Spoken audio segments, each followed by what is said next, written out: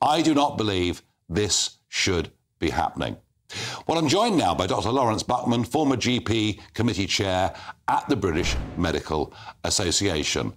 Um, and I'll start with you, Lawrence. Um, as I've said, I'm not wholly unsympathetic. It's not an easy job, it's very stressful, but I see it as a long apprenticeship to a relatively a relatively well paid, or actually quite well paid career in the end.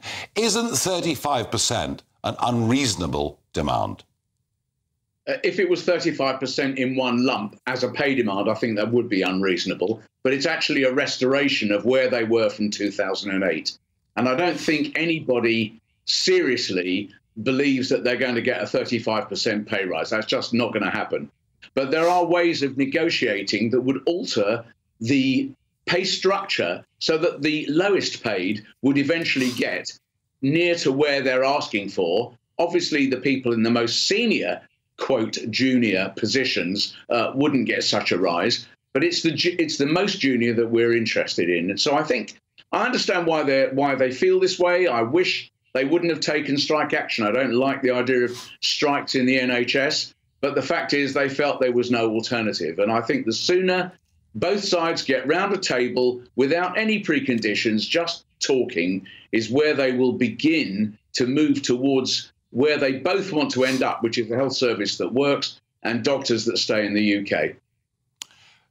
But we can't say, you know, this problem goes back to 2008. We're dealing with a government that's in now.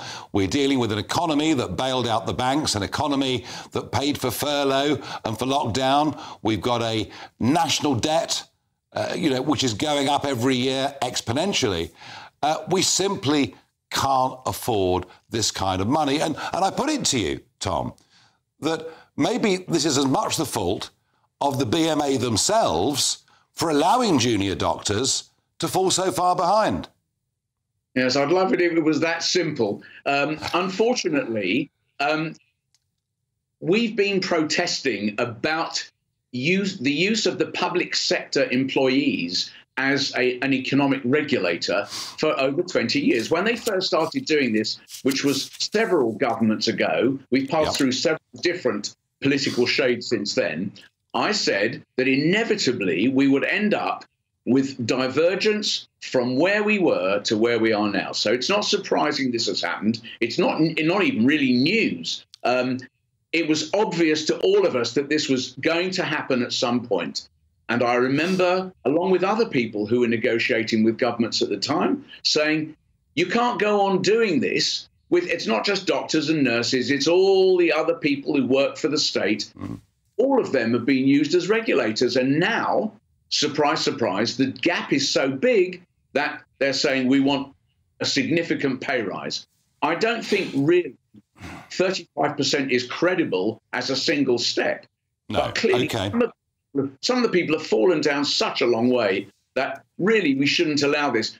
And I don't think the junior doctors, by the way, are a special case. We can chuck in the police, the army, the judiciary, and all the other people who work for yeah, society. and that's the problem. And that's the problem that if we were to give a 35% pay rise to all the public sector workers, that's almost 100 billion pounds. I mean, that's the problem the government's got. But Lawrence, just sort of final thought, what would you say, or, or I mean, what would a junior doctor say to me uh, tonight when I say that my 88-year-old father is unwell, is in hospital, is in need of real medical care? He might not get it for the next few days. Oh, I think he's going to get it. He's going to get it from people who are there, which includes all the doctors who are not juniors, uh, which includes consultants, which includes staff grades.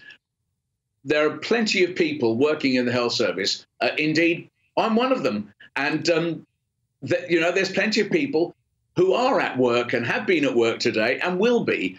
And you, your elderly relative, they will get the care they quite rightly need and deserve.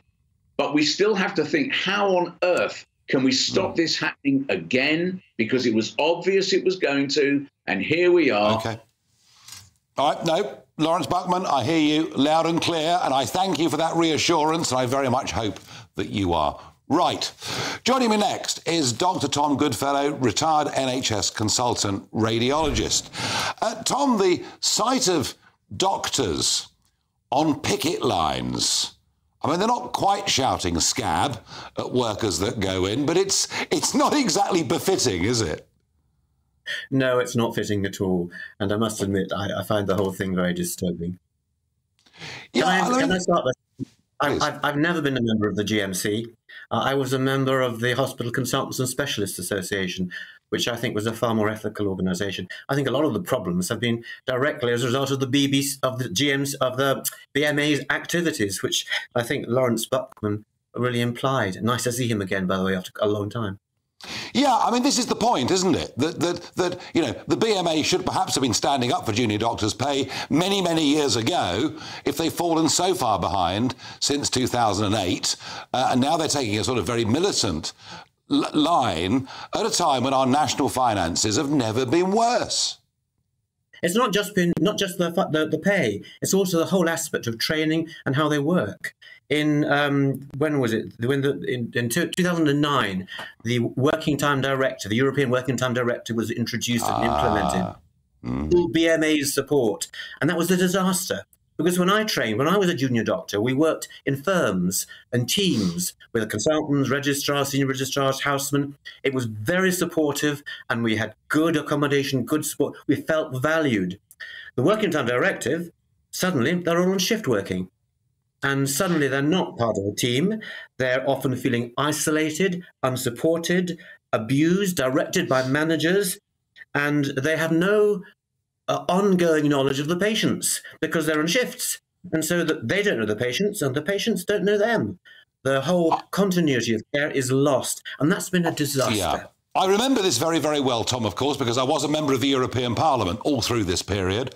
And I remember these debates, and the Working Time Directive was going to stop junior doctors making medical errors. It was going to stop slave conditions. I remember all of the arguments. But now we've got Brexit. Isn't there a chance here to unravel it? Well, you'd have hoped so, wouldn't you? But the BMA have done absolutely nothing to alleviate this situation. As Bob Buckman has said, it is obvious that this was going to happen. Um, and you know quite clearly, the BMA and the government should have been addressing these issues, not just of pay, but also of the whole way they work. For example, a few years ago, the um, BMA were in the High Court with the government against their own junior doctors to impose a contract which the junior doctor did not want. And that's caused huge damage, loss of professionalism. Oh, I, I, I can barely know what to say about it. It was a dreadful decision.